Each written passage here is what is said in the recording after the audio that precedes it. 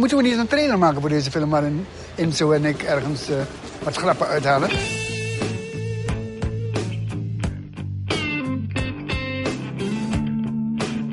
Met Pim is er een klimaatverandering opgetreden. Klopt echt niets van, hoor. Pim push uh, filmmaking to the limit. Ja!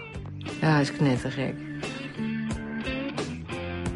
Vom ersten Tag an lief der Film und war dann unter den zehn erfolgreichsten Filmen des Jahres. Miljonair? Nou ja, we wisten nauwelijks hoe je het weer woord moest schrijven. Het ego van Pim staat natuurlijk uh, geheel voorop. Misschien. Dat heeft zich ook een beetje tegen hem gekeerd. Zo van jou! Zij vertellen dat ik heb gezegd dat ik haar zou hebben gediscrimineerd. En dat, uh, ha. Toen knapt het. Toen dacht ik, het is over.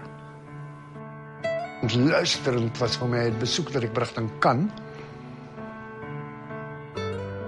Al mijn uh, filmvrienden. Nou, one people vonden ze niks.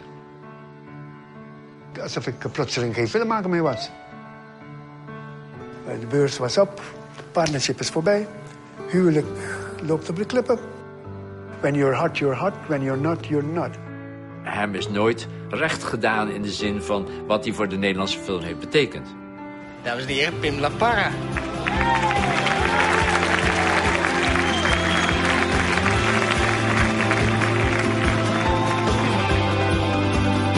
Nee! Ja.